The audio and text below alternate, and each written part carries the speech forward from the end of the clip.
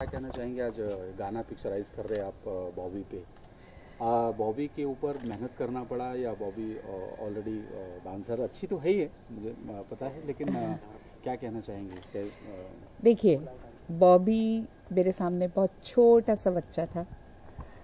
थी या था, जो भी आप कहना चाहें, अभी वो थी बनी हुई है। वैसे वो है था। ये बहुत मुश्किल है कि था को थी करना।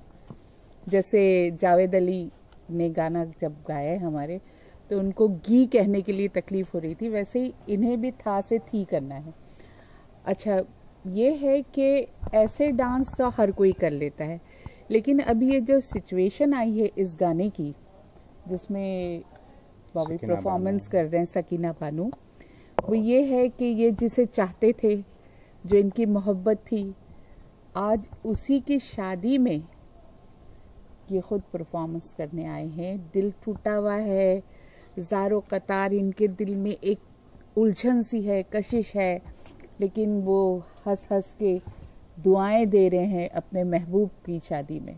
यही है ना सिचुएशन हाँ, सच में कह थीम, थीम मतलब हाँ, बेसिकली थीम यही है गाने थीम यही है गाने की और वो आ, इसमें ना ज़्यादातर डांस से ज़्यादा एक्सप्रेशन भाव और पैथोस, जिसको कहते हैं कि एक जज्बात को दबा के अपनी खुशी का इजहार करना, वो मुझे इनसे करवाना है और इन उम्मीद है कि ये बहुत अच्छा कर लेंगी। क्योंकि ये मेरी ही स्टूडेंट रह चुकी हैं, मेरी अपनी एकेडमी में आते थे, जब दिल चाह आया, जब दिल चाह नहीं आया। तो खूब डांट भी पड़ी है, खूब मार भी पड़ी है। जब मैं आई तो गुरु जी मैं कर लूँगा? मैंने कहा, कोई बात नहीं बेटा, मैं हूँ और मेरी चप्पल साथ है। क्योंकि जब मुझे गुस्सा आता है तब तो पड़ती है पिटाई। अच्छा ये इसी किस्म का गाना मुझे आज इतनी खुशी हो रही है कि मैं खुद असिस्टेंट थी गोपी महाराज जी, मेरे गुरु की। मैं तवायफ हूँ, मुजरा करूँगी। हेमा जी पे पिक्चराइज हुआ था। इसी तरीके से राजेश खन्ना की शादी हो रही है और वो गाती है।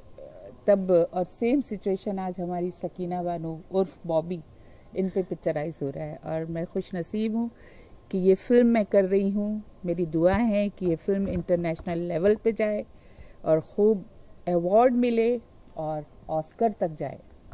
मेरी दिल्ली तमन्ना है। थैंक यू बॉबी बॉबी जी आप क्या कहना चाहेंगे मार्शल जी मैं तो एक्चुअली मैं तो स्पीचलेस हूँ और मुझे काफ़ी घबराहट सी हो रही कि मैं तेरह साल के बाद में आज इनकी मतलब गुरु जी के सामने हूँ। और ऐसा मतलब अजीब सा फीलिंग होता है ना कि जैसे जब वो कोरियोग्राफ करते हैं तो काफ़ी डर मतलब डर सा महसूस होता है। लेकिन वो काफ़ी काफ़ी कोशिश करते हैं कि डरो मत डरो मत। लेकिन कहते हैं ना कि जब टीचर है और स्टूडेंट है तो कहीं ना कहीं थोड़ा सा डर लगा ही रहता है। अगर हम अच्छी परफॉर्मेंस नहीं देंगे तो उनको भी बुरा लगेगा कि हाँ भाई, मैं उनकी स्टूडेंट हूँ, अगर अच्छा काम नहीं कर पाई तो उनको कहीं ना कहीं मन में कुछ संदेशा रहेगा कि कुछ क्वेश्चन मार्क रहेगा। जैसे एक ब्रिड क्वेश्चन मार्क की तरह है वैसे ही मेरी कला पे भी फिर अगर मैंने अच्छा नहीं किया तो फिर वो क्वेश्चन मार्क ही रहेगा नहीं, मतलब उम्मीद है अच्छा करेंगे। जी और मास्टर जी मिलके दोनों धमाल करने वाले हैं। हाँ ये तो है कि हम रॉक्स करेंगे बिल्कुल। और आम के आम गुठलियों के दाम भी मिलने वाले जी बिल्कुल सही है। और मैं आपको एक बात और कहना चाहूँगी कि तेरह साल पहले कहते हैं कि गुरु बिना ज्ञान नहीं। और इससे पहले मैं कहते हैं कि मेरी कला थी मेरे पास में। लेकिन उसको सही मायने से जो कगार मिलना चाहिए था, एक मकसद मिलना चाहिए था, कला को एक नाम मिलना चाहिए था, वो नहीं था। लेकिन जब तेरह साल पहले जब मैं गुरु जी से फ़र्स्ट बार उनसे मिली और उनसे, उन्होंने जो, मैंने उनके पाँव छुए और जो उनके दिल में कोई बात लगी तो वो रिश्ता आज भी तेरह साल से हमारे साथ में है। और कहते हैं कि गुरु बिना ज्ञान नहीं तो मैंने उसी दिन से अपने गुरु इनको ही माना है और मैं जब तक जीऊँगी या फिर मरूँगी जब तक उनका इनाम मेरे मतलब बॉलीवुड में या कहीं भी है तो उनका इनाम रहेगा। एक मेरी माँ वो थी एक मेरी माँ ये है इसी तरह। जिन्होंने मुझे बॉलीवुड में रास्ता दिखाया। इसी थैंक यू थैंक यू कभी कभी डांस वांस करते करते कभी मास्टर जी चिड़ी कभी जूता अरे भैया मत पूछो मत पूछो आप लोग सच में एक एक एल्बम तो फ़र्स्ट एल्बम भी था और मैं कहीं पे जाके गाना था मुझको जगाए सारी रात।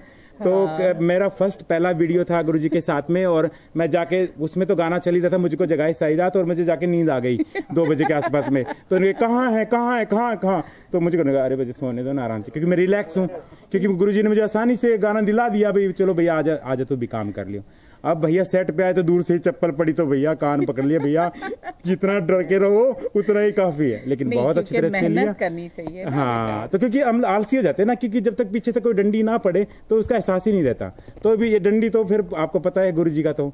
ये डंडी नहीं फिर तो फिर तो धड़ा धड़ धड़ा धड़ धड़ा धड़। मुझे बहुत खुशी है कि बॉबी बॉम्बे में आके उसने अपना एक मुकाम बनाया और आज वो एक फ़िल्म प्रोड्यूस कर रहा है और अपने ऊपर पिक्चर पिक्चर बना रहा है। मुझे बहुत गर्व है क्योंकि बहुत कम लोग होते हैं जो बॉम्बे में आके भटक जाते हैं अपनी अपनी कुछ और दुनिया में होते हैं। लेकिन इसने अपने मकसद में कामयाब हुआ। मेरी दुआ है कि हमेशा कामयाब रहे। Thank you thank you so thank you so much खाना खा लो आप यही पे यही पे। अच्छा लग रहा है। चलिए। यस एक्शन लागा रे नमक इश्क का रे तेरे इश्क का। पे लागा लागा रे नमक इश्क का रे तेरे इश्क का। हो गया बस इतने काफ़ी है।